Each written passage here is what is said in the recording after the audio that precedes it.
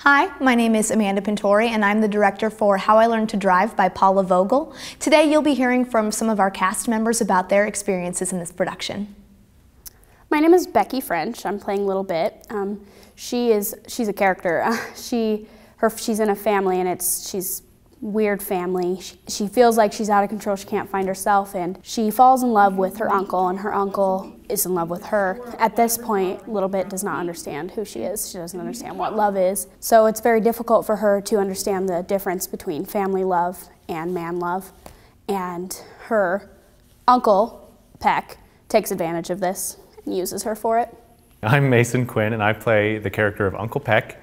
Um, Uncle Peck is uh, a man who is in a very dysfunctional family. He has a very strange relationship with the main character, who is a little bit. They are each other's saving graces in this dysfunctional family, but their relationship is also uh, very taboo.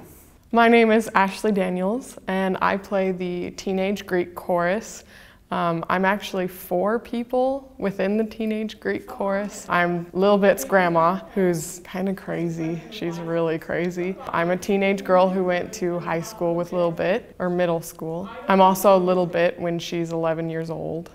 Well, I'm Heather Ann Hicks, and I'm playing female chorus member in How I Learned to Drive.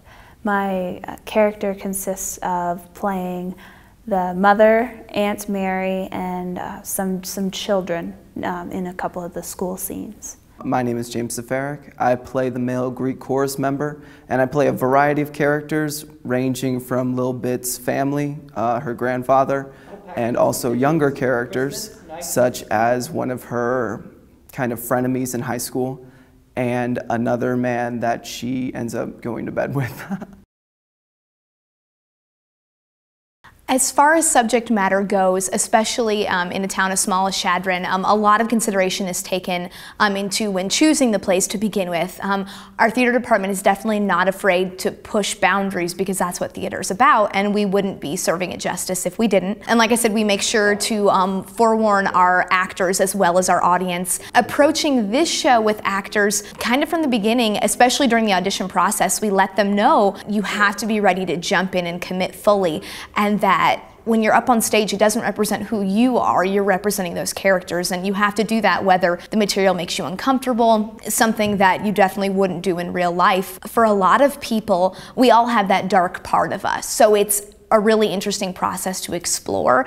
And that's why I like working with this kind of material because it gives the audience a chance to realize that, yes, this is a part of me, it's a part of everyone. I've been in some pretty serious contemporary plays, but this is by far the most serious topic I've ever been in. It took a lot of inside work to find myself and to find, you know, a little bit inside myself because it is so weird and uh, family problems, you know, sexual problems and all of that. So it, it's a very deep role to try to find in yourself. When preparing for a role like this, um, it's really kind of hard to uh, almost to get into the part just because it's so something that's really not familiar, you know. Um, and it, it, does help to, to draw from your own experiences, in a play like this, to draw from your darker experiences. But really the best way is just to, just to dive straight into the character head on and, and get as deep as you can.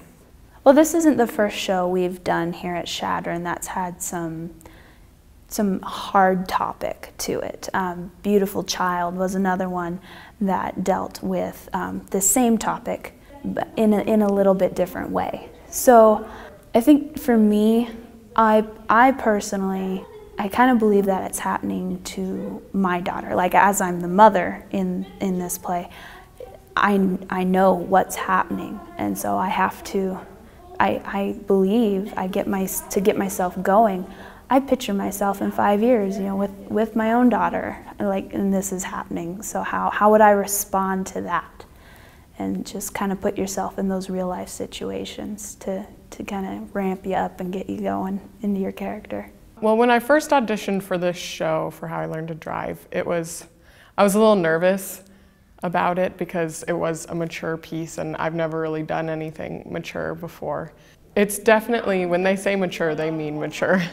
Going through it, the first time I read the script, I was like, oh my gosh, this is gonna be scary but it's very, very in depth. you get done watching the show and you don't know if Little Bit is at fault or if Uncle Peck's at fault or if it's her family that that's at fault. So it's it definitely leaves you wondering what would have happened and With this show, we're doing a thrust seating, so it's audience on three sides, and uh, we have the element of the Greek chorus. And so we got to play a lot with um, positioning them. They never leave the stage. So we've definitely gotten to play a lot with them jumping in and out of different characters and helping them find that boundary of how to properly show that. And just sight lines, uh, making sure that everybody in the audience can see. We have some really extreme seating, um, and we want everybody to get the same um, experience. When working with a small cast like this, it's it's actually a lot of fun um, because you get to be closer with the people that you're working with for one. When talking about the Greek chorus, there, there are moments when they play uh, other characters within the family. Little Bit and Uncle Peck are really the only characters who are those two characters the whole time. And then there are the Greek chorus members who play the mother or the grandpa or the grandmother or Little Bit's friends in different moments. So they do interact with the characters on stage, but then there are other times when they are more like a traditional Greek chorus and they're just kind of prog progressing the story forward.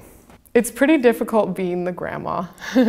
I'm obviously not a grandma and definitely being crazy and Little Bit's family is very sexual. That's kind of a different aspect of theater for me. I've never had to do anything like that. So it's kind of difficult getting into being a crazy old lady who wants to talk about sex all the time. We try to have a lot of fun here. Um, and it's really uh, interesting to be able to work with a smaller program like we have. We only have two directors, but when in such a small program like that, you can get a lot more face time with your professors and you can really get to know them. You know, we're on a first name basis with our professors here and they all know us really well. It's like we're almost like we're uh, a, a big family, you know. I've had an absolutely wonderful time directing so far. Uh, Roger Mays and I talked last year about um, this is my senior year, so the chance to student direct, and it's definitely interesting walking into a space with your peers and kind of taking on that. But I think that I'm I have a leader type personality, so it's something that I feel comfortable slipping into. I thought a lot about everything and have talked a lot with professors and read a lot of books, um, did a lot of research before um, before we started the process you learn more as an actor also being directed by an actor as well and as a, a, student along your age level you find out new things about staging and interacting with other people. And it's a very good experience. I want to be an educator so it's really helped me along finding how to interact with not just older directors but students along my age as well. It's a lot different because you're you know the student. You're on a much friendlier term with the student than you would be with a professor. The, that professional level is hard to come by because you see them in class, you see them after class, you hang out with them at night, you know. You don't necessarily do that with a professor. So just coming up with that professionalism, getting that into the rehearsal and respecting the student director as the director. So, but it's nice. Amanda's a great director. Thank you for watching our behind the scenes of How I Learned to Drive.